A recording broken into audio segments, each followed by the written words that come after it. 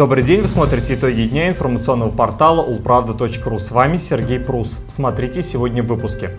В аэропорту Ульяновск-Восточный обезвредили террористов. Дороги Ульяновска отремонтированы больше, чем на треть. Профессиональный праздник отметили работники легкой промышленности. В Ульяновске задержали гражданина, находившегося в международном розыске.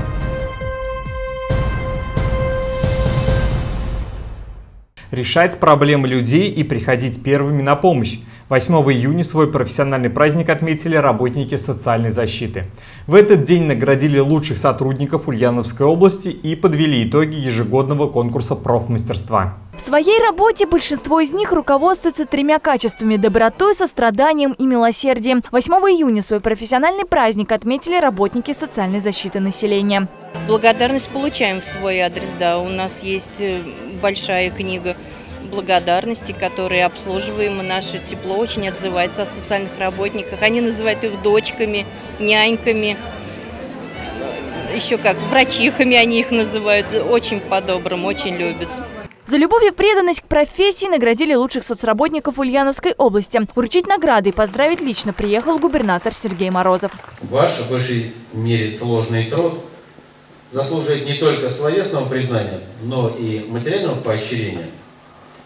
Именно поэтому в этом году, по случаю профессионального праздника и по случаю ваших замечательных результатов, по случаю вашей огромной помощи к тому, чтобы мы наконец-то вошли в группу лидеров России, я принял решение выплатить премии всем без исключения сотрудникам системы социальной защиты населения нашей Отрасль соцзащиты в регионе включает в себя порядка 40 учреждений, в которых работают свыше 6 тысяч человек. Сегодня упор сделан на создание реабилитационных центров для детей и подростков. С прошлого года уже открыто 16 центров в 14 районах. В 2019 заработают еще 10 таких учреждений. На их оснащение предусмотрено 36 миллионов рублей. Еще одна задача – вывести из статуса пилотный в ряды якорных проект «Социальная няня». Но это задача прежде всего в рамках реализации проекта «Демография», который, о котором я уже сказала. Это реализация проекта «Социальная няня», который на сегодняшний день вошел в пилот федеральных площадок. И мы одни из шести регионов, э, которые возглавляют э, эту тему. Ежегодно социальные работники со всего региона участвуют в конкурсе профессионального мастерства. В этом году заявки на творческое состязание подали более 80 участников. Гюзель Латыпова в сфере соцзащиты последние четыре года. Со своим авторским проектом для пожилых людей «Волшебные палочки» она объездила почти все районы. Волшебные палочки – это обыкновенные деревянные палочки, которые смастерили мы в нашей мастерской. И э, проект направлен на оздоровление, на профилактику э, э, болезни суставов у пожилых людей. Итоги конкурса объявили в этот день со сцены в Парке Победы. Рената Алиулова, Руслан Баталов. Новости Улправды ТВ. Масштабные учения прошли накануне в аэропорту Ульяновск-Восточный. В мероприятии приняло участие более 700 сотрудников различных силовых ведомств. По сценарию «Тактика специальных учений» группа террористов ворвалась в здание аэропорта и захватила в заложники только что прибывших пассажиров. На место оперативно прибыли полицейские, началась перестрелка. Условные преступники скрылись в одном из помещений аэропорта. Один полицейский получил серьезные ранения, один погиб. Скорая помощь находится еще на месте? на месте. Организовать прикрытие врачей. Для участия в обезвреживании террористов было привлечено более 700 человек сотрудников УФСБ, ОМВД, Управления Росгвардии, МЧС, УФСИН и многих других. Использовалось 60 единиц автомобильной и специальной техники. Информация об условном преступлении была доведена до оперативного штаба, который организовал проведение контртеррористической операции. Участники отработали вопросы оцепления объекта, оказания первой медицинской помощи, проведения аварийно-спасательных работ. Кроме этого, в работе использовали роботизированную технику для дистанционного обезвреживания взрывных веществ.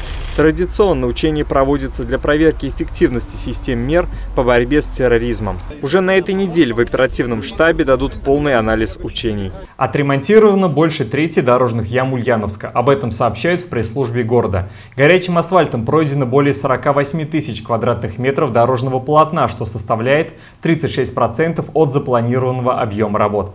Струйно-инъекционным способом залатали около 8 тысяч квадратных метров. Это почти 40% от годового плана. В эти дни ремонтные бригады работают на улицах всех районов города, а также в пригородной зоне в селах Лаишевка, Аненково и Луговое. Газовые службы ежегодно в каждом населенном пункте области проводят рейды по газовой безопасности.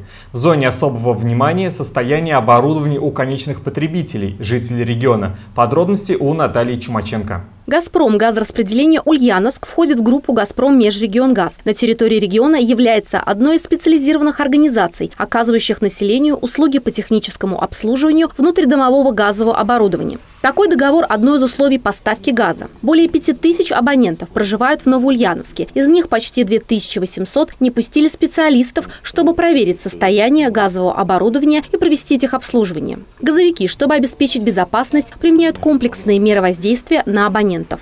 Мы стараемся искать э, все, все возможные способы доведения до сведения людей, то есть используем интернет, и прессу, и э, очень серьезный ресурс администрации города, которая тоже идет нам навстречу, значит, и помогает управляющие компании, у которых есть свой тоже график обхода, в том числе дымовентиляционных каналов, например.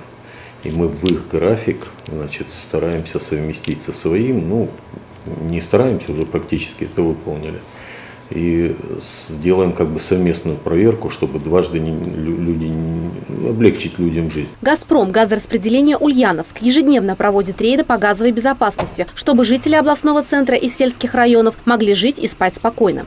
Цель комплексных проверок – проинспектировать состояние бытовых газовых приборов, проверить наличие договора о техническом обслуживании, проинформировать население о том, что вся ответственность за отказ от проведения технического обслуживания внутридомового газового оборудования, которое, согласно новым изменениям в действующем законодательстве, должно быть ежегодным, лежит на собственниках жилья. О сроках проведения техобслуживания, которое проводится по графику, жильцов частных и многоквартирных домов оповещают заранее объявлениями и яркими листовками. Наш сотрудник проводит техническое обслуживание внутриквартирного квартирного газового оборудования раз в год, согласно постановлению 410. Проводит визуальный осмотр газового оборудования, проверку доступа, смазку, разборку кранов, проверку герметичности газопровода и газово использующего оборудования. Проводит проверку тяги дымоходов, вентиляционных каналов, соединения дымоходов, герметичность. И также производим инструктаж потребителей по правильному пользованию газом в быту. В 2019 году газовики совместно с правительством области, МЧС, представителями муниципалитетов провели дополнительные проверки состояния газовых приборов и счетчиков более чем у 7 тысяч потребителей. В результате абонентам было выдано 723 предписания, отключено 173 единицы неисправного газового оборудования, зафиксировано почти 9 тысяч актов о недопуске специалистов в помещения для проведения техобслуживания ВДГО. Добрый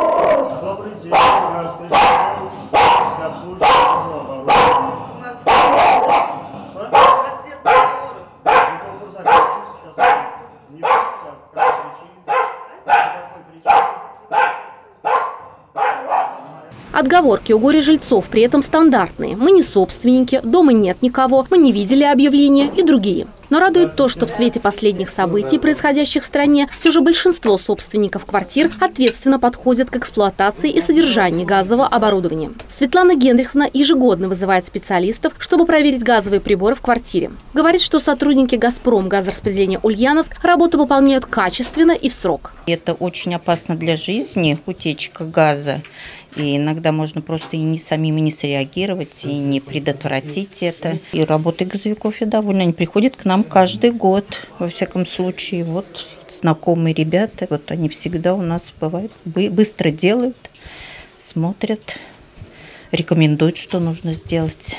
Проверки и обход граждан стали уже системной работой. Однако, как показывает практика, нужно совершенствовать российское законодательство. Так, «Газпром» предлагает ввести требования о лицензировании деятельности сторонних организаций по техобслуживанию ВДГО и проверке состояния дымовых и вентиляционных каналов. Только комплексный подход, совместные действия органов власти всех уровней, газовиков и, самое главное, потребителей газа поможет решить главную проблему – обеспечить внутридомовому газовому оборудованию постоянное профессиональное содержание и контроль. В Ульяновске правоохранители задержали гражданина, находившегося в межгосударственном розыске. Им оказался уроженец Республики Киргизия. 34-летний мужчина пересек границу Российской Федерации и встал на миграционный учет, используя поддельные документы, находясь при этом в межгосударственном розыске по подозрению к склонению к самоубийству и хулиганских действиях на территории сопредельного государства. Мужчина был задержан правоохранителями на территории Засвияжского района города Ульяновска. Сотрудниками ОМВД России по Засвежскому району города Ульяновска проводятся проверочные мероприятия в порядке статей 144-145 Уголовного процессуального кодекса Российской Федерации. Кроме того, на основе собранных сотрудниками УМВД и УФСБ материалов надзорным органам проводится экстрадиционная проверка. 9 июня свой профессиональный праздник отметили работники легкой промышленности. В нашем регионе работают крупные предприятия данной отрасли. Кого-то с этой специальностью связала воля случая, а кто-то влюбился в нее еще в детстве. О молодой династии в швейном производстве расскажет Рената Алиулова.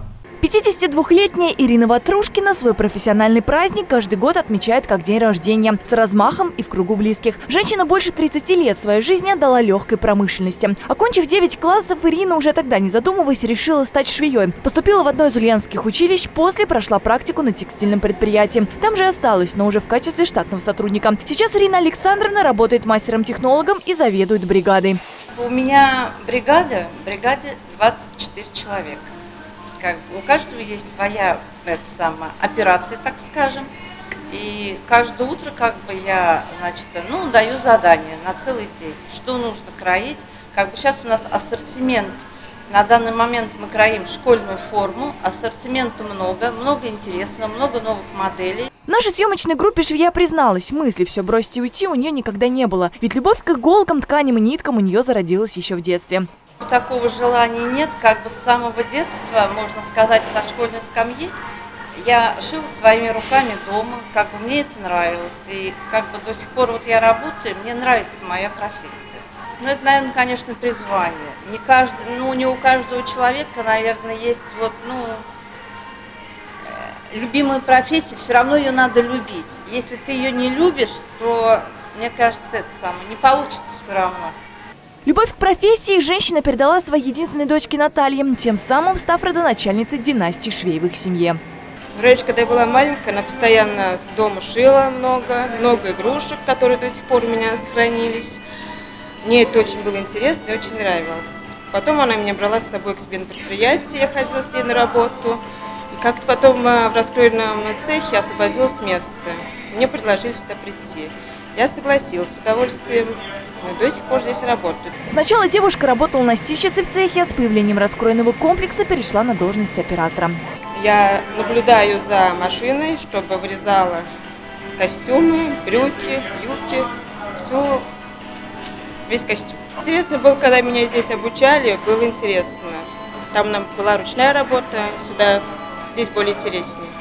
С мамой плечом к плечу они вместе трудятся уже 10 лет. На службе Наталья не позволяет себе назвать Ирину Александровну мамой. Тут она для нее начальница. Все родственные отношения не стараются оставлять дома. К тому же дома подрастает уже следующая швея, дочка Натальи. Малышка, как ее мама, в детстве питает интерес к работе.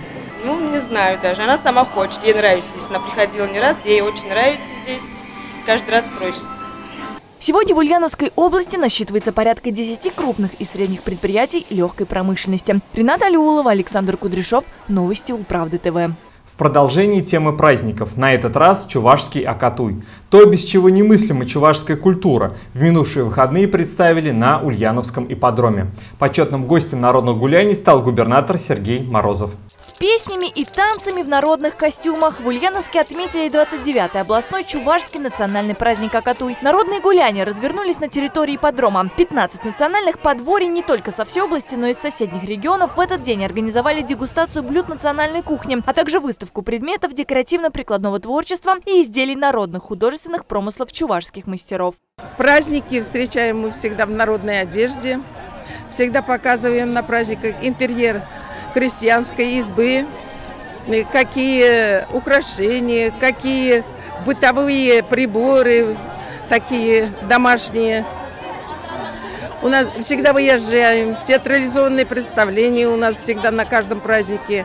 Эти театрализованные представления всегда сопровождается с национальной кухней. Но не только бытом и блюдами славится каждый народ. Не обошлось и без национальных игр. Зрители могли наблюдать за традиционной чувашской борьбой киришу, а возле каждого подворья принять участие в народных забавах.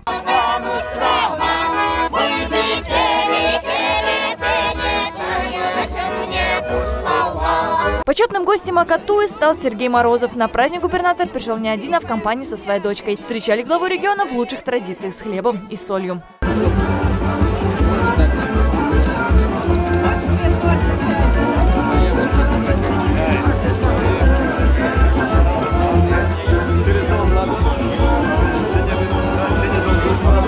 Вот уже 30 лет мы с вами, начиная с 1990 года, проводим замечательный праздник Акатой.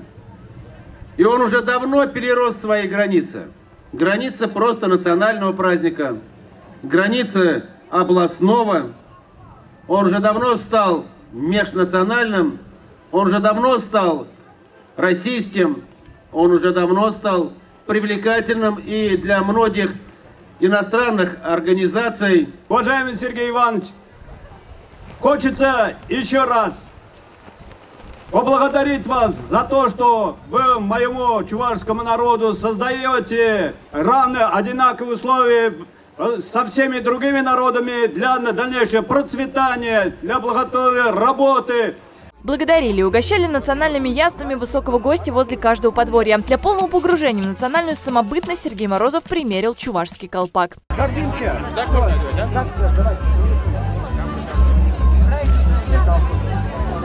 Далее глава региона проследовал Чувашское подворье, где обсудил вопросы реализации в Ульяновской области проекта «Национальная деревня». Программа включает в себя строительство в регионе девяти этнических площадок. Рената Алиулова, Руслан Баталов. Новости Улправды ТВ. В летней школе математики и программирования Ульяновской области дети создадут детектор лжи и виртуально сразятся в армрестлинг.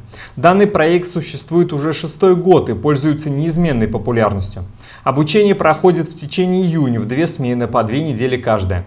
Здесь дети могут познакомиться с различными направлениями, связанными с информационными технологиями, робототехникой, программированием, созданием компьютерных игр.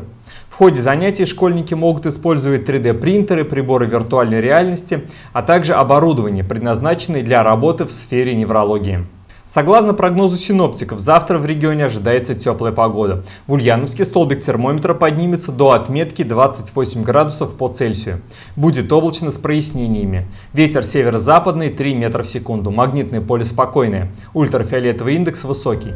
Это все новости на сегодня. Смотрите нас на информационном портале ulpravda.ru по будням 18.50. До завтра.